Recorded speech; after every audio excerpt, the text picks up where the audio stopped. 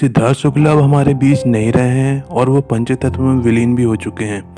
लेकिन उनकी मौत की असली वजह क्या रही, ये अभी तक सही तरीके से साफ़ नहीं हो पाया है। लेकिन एक बात आप सबने ज़रूर गौर की होगी कि जब से सिद्धार्थ नहीं रहे हैं, उसके बाद से लोगों को सिर्फ़ शहनाज गिल की परवाह है। आपने उनकी फ़ोटो जगह जगह पे देखी होगी, उनके वीडियो भी काफ़ी जगह पे देखे होंगे। और कई लोग तो सिर्फ़ ट्वीट में भी शहनाज को ही टैग कर रहे हैं। वो शायद ये भूल गए हैं कि सिद्धार्थ की फैमिली में और भी मेंबर थे। दोस्तों, ये बात सुन के आपको बुरा लग सकता है, लेकिन मैं भी शहनाज गिल के फेवर में हूँ। पर अगर आप सिद्धार्थ को प्यार करते हैं तो आपको सिर्फ़ उसका प्यार ही नहीं देखना चाहिए, बल्कि उसकी माँ और उसकी बहन का प्यार भी देखना चाहिए। और दोस्तों, अगर आपको ये पता ना हो तो मैं आपको बता देना चाहता हूँ कि सिद्धार्थ शुक्ला की चिता को आग उनकी माँ ने ही दिया है। दोस्तों, ये वही माँ है जिसने सिद्धार्थ शुक्ला को जन्म दिया और उसकी 40 साल की उम्र होने तक उसको पाला पोसा बड़ा किया, उसको अपने हाथों से खिलाया और उनका जीवन ज़्यादा संघर्षमय इसलिए हो जाता है क्योंकि जब सिद्धार्थ शुक्ला नए नए मॉडलिंग की दुनिया में आए थे, उसी समय उनके पिताजी का देहांत हो गया था।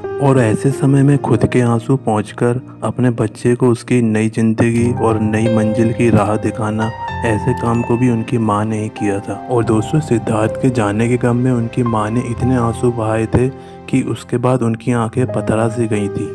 यानी जब उनका अंतिम संस्कार किया जा रहा था, तब आसपास के लोगों ने यही देखा कि उनकी माँ के आँसू सूख चुके हैं। जिस सिद्धार्थ शुक्ला ने अभी अभी कामयाबी का सफ़र शुरू ही किया था, जिसको कई सारे मुकाम अभी पाने थे, और कुछ लोगों का ये भी कहना था कि दिसंबर में उनकी शादी भी होने वाली थी।